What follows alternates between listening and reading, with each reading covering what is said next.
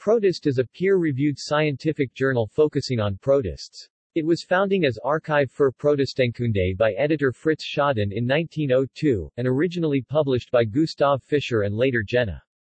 The journal is now published by Elsevier, and is currently edited by Michael Melkonian, Botanisches Institut, Universität zu Köln. The journal changed its name to Protist in 1998. Abstracting and indexing The journal is abstracted and indexed in the following bibliographic databases. According to the Journal Citation Reports, the journal has a 2017 impact factor of 2.702. References Further reading EAM 1902.